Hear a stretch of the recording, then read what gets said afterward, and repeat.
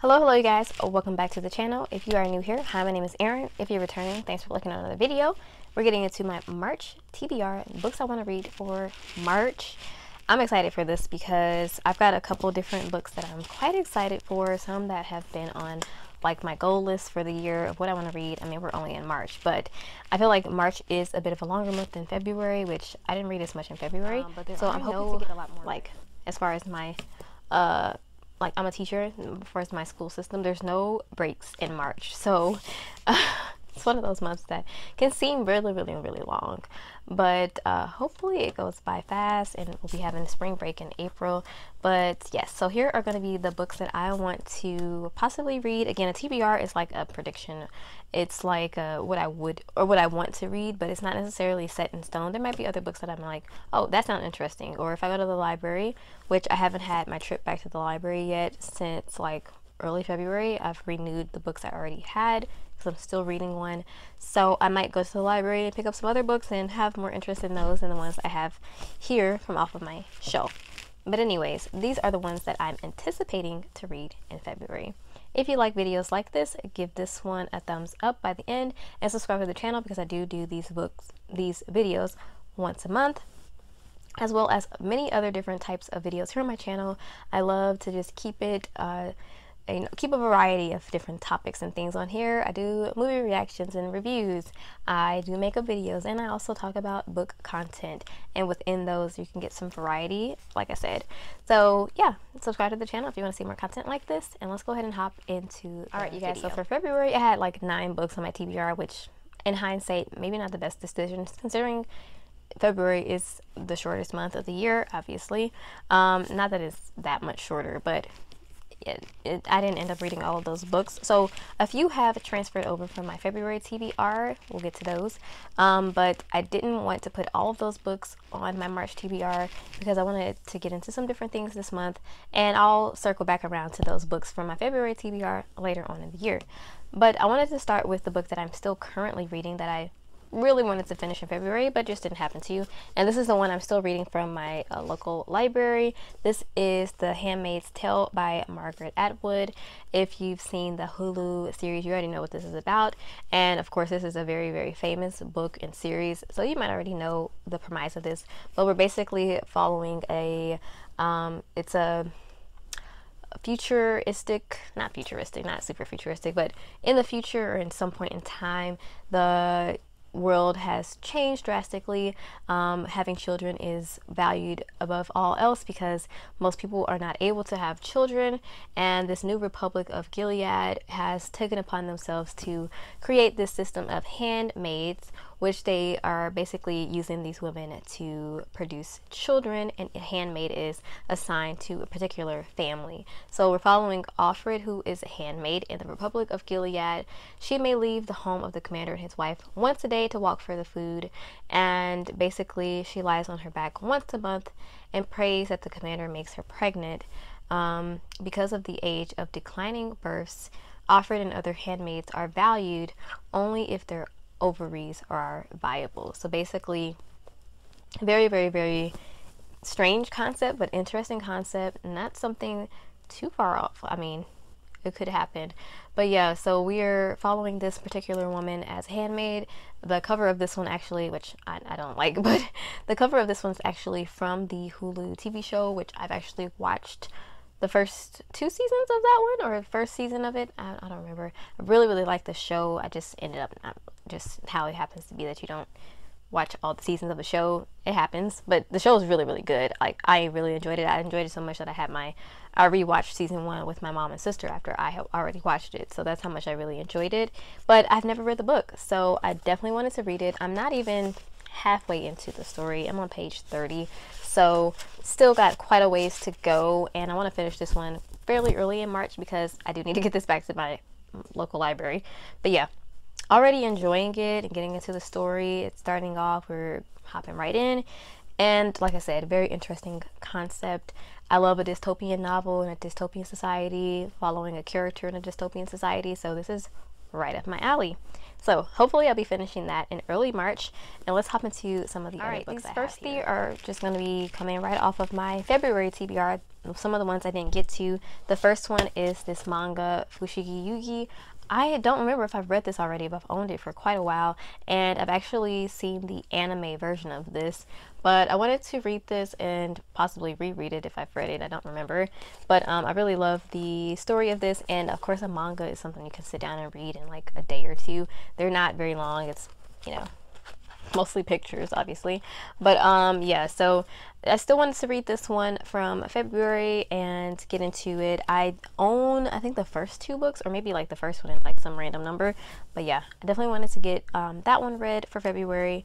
We're basically following this girl who like goes into a story and she's um yeah she goes into the world of a book and she becomes a priestess of this god and and you know stuff ensues. So yeah i've seen a part of the anime. I never finished it for some reason even though i really really like it but i wanted to read the manga series to it. Um, the next one is how high we go in the dark. This is one of my most anticipated for the year mostly from the cover. I don't know, by Sekowa Nagama. Oh, did I say the author of this one? Fushigi Yugi by Wu Yu Watase. Yu Watase. So sorry. And then this one is by Sekon, Sequoia Nagamatsu. Sequoia. Sequoia Nagamatsu. And uh, this was a sci-fi read. I wanted to do some more fantasy and sci-fi for March. I don't know why. I feel like March is a fantasy sci-fi month for some reason. But yeah, so this one is we're following. Um, we're in the year 2030, as a grieving archaeologist arrives in the Arctic Circle to continue the work of his recently deceased daughter at the ba- ba- Batagaik crater, Batagaik, Batagaik, oh my goodness, words, at the Batagaik crater that did not sound right, where researchers are studying long buried secrets now revealed in melting permafrost, including the perfectly preserved remains of a girl who appears to have died of an ancient virus. Once released, the Arctic plague will reshape life on Earth for generations to come, quickly traversing the globe, forcing humanity to devise a myriad of moving and inventive ways to embrace possibility in the face of tragedy. In a theme park designed for terminally ill children, a cynical employee falls in love with a mother desperate to hold, desperate to hold on to her infected son. A heartbroken scientist searching for a cure finds a second chance at fatherhood. One of his test subjects, a pig, develops the capacity for human speech, and a widowed painter and her teenage stepdaughter embark on a cosmic quest to locate a new home planet. So we got a lot of stuff going on there. That sounds like a lot of fun. So yes, Arthur right there. Nice. I'm excited for this. I definitely want to get into this one in March. It's not that long. It's a pretty short read. And I just want to see, you know, some different elements of sci-fi that I haven't read before and see if I enjoy it. There you go. Another one from my February TBR, Half Sick of Shadows. This was a uh, book of the month book I got from last year that I just never read. It is by Laura Sebastian and it is a pretty thick one. Let me see. Yeah, 400 pages, not that bad. But this one is basically like a retelling of the Arthur legend story uh, so we're following Arthur and Morgana, but we're also following this character Elaine as well, and we're more following her than anything else. So I'm excited to get into this one and see what it's all about. Um, I think this is a fantasy. Yeah, this is yeah basically a myth fantasy type of read, and so I'm definitely wanting to get into this. Like I said, I feel like uh, March is like the month for that for some some reason. And you'll see that uh, some of my other picks are also fantasy or sci-fi related as well. As we get into the next one, The Hobbit. One of my goals this year is to start some classic series, and I feel like Lord of the Rings is a given. I've also never seen any of the movies, so I want to read the books and then react to the movies here on my channel. So we're going to start with The Hobbit um, because I believe this is a prequel to The Lord of the Rings, or like the story beforehand. So I'm going to be reading this one and then I'm going to hop into the Fellowship of the Ring. I hope that's the right reading order. Let me know down in the comments if I shouldn't start with this one, but I feel like this one is like the perfect one to read. Um, yeah, so it even says on the back, if you're interested in the Hobbits, read them about them in the Lord of the Rings. So I do have this one and I also bought the Fellowship of the Rings um, at the same time from this website called discountbooks.com. So it has a bunch of discounted thrift thrifted books. Um, I got this one for like three dollars. So I'm gonna be reading this one first, and then I'll read the Fellowship of the Rings maybe in April. Just continue it on. So I'm really excited about this because I know a lot of people really, really love this series and these characters that are introduced in The Hobbit and the Lord of the Rings series. So yeah, I'm really, really excited for this. We're following Bilbo Baggins in this one as a hobbit who wanted to be left alone in quiet comfort, but the wizard Gandalf came along with a band of homeless dwarves. Soon Bilbo, and I can't read the rest because there's a sticker, but you guys probably know this story. Moving right okay. along, also wanted to get into Brandon Sanderson this month. I've been wanting to read some Brandon Sanderson for quite a while now. I have two of his books. The first one I bought was The Way of Kings. And I bought that one. I, I don't really know. I just was like, I want to read Brandon Sanderson because I've heard a lot about this author. A lot of people seem to really, really love his work. But I've never even, I had never even heard of him until I got onto BookTube. But um, I picked that one up first, but that's a really big book. I'm gonna have to be like prepared for that. So I decided to go ahead and do this one first. I picked this book up quite a few months ago as well, but this is Mistborn, which is the first in his Mistborn series. Um, and so this is also, this is also really thick. This is 600 something pages. But I feel like with this one, it's probably gonna go a little bit faster. I mean, it's not, it's pretty thick but the other one's like literally like a thousand something pages. So yeah, I'll start with this one. But yeah, so I decided to go ahead and pick this one up in March. Hopefully I will be able to finish it. Like I said, I'm not having too many books on my TBR, so I think I'll be able to get through the majority of them. Depends on what I get interested into the month, of course. Um, and of course, I like to go into my Kindle and just browse and stuff, so that can also take up time. But in this one, we're following, oh, I'll read the back of it so you kind of get an idea of what this one's about. I believe it's a fantasy.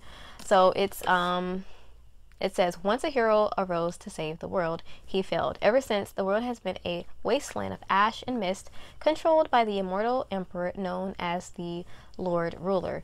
But hope uh, but hope survives. A new uprising is forming, one built around the ultimate caper, the cunning of a brilliant criminal mastermind, and the determination of an unlike, unlikely unlikely heroine a street urchin who must learn to master the power of a mistborn.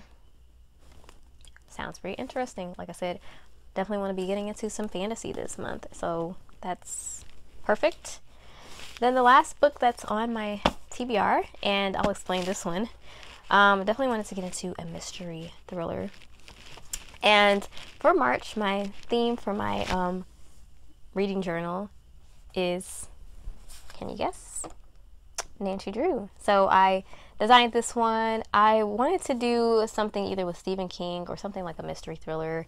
I don't know why when I'm reading mostly fantasy books, but I decided to do Nancy Drew because my sister actually has. I'm trying to encourage my sisters to get back into reading more, and my younger sister um, recently read two of the Nancy Drew books, Drew books, and um, she's not a huge reader, but she really enjoyed them. So I was like, let's do a Nancy Drew spread in March because it's also her birthday month. So this is my spread for March, kind of a, a tribute to my sister as she's getting back into reading, and also this is her birthday mo month. So as you can see, it's modeled after how a Nancy Drew book looks, um, especially the ones, I have a couple other ones that look more like this one where it had like the yellow border up at the top in the thing, then had a picture of Nancy doing whatever, and I even have an example pick there. And then the title for this month is The Mystery of the TBR for March. Of course, following off of how the titles are in the Nancy Drew series. So I'm super excited about this spread. It's super cute. But to follow that up, I wanted to read an Nancy Drew book for the month of March. It just seemed fitting as that was my theme. So I picked a random one off my shelf. I have a small little collection of Nancy Drew books. I used to love reading the Nancy Drew books when I was younger in middle, in elementary, middle school, um, in high school too as well. It's just a classic book series and so I definitely wanted to pick up another one um, for this month and I haven't read any of the Nancy Drew books in I want to say maybe a couple years. Um, like I said, I do have them on my shelf. So I feel like I've read one maybe within the past like five years as I own them. I'm pretty sure I've read maybe one. in clear memory, I, I clearly remember reading one of them. I don't remember which one. But I know I haven't read this one because I just recently got this one. So this is The Clue of the Broken Locket. It is book number 11, and the Nancy Drew series is by Carolyn Keene, of course. Um, so yeah, we all know Nancy Drew. She's solving little mysteries and following along with it. Um, and so yeah, very short book. It's only 169 pages. I don't expect, oh, 100 and,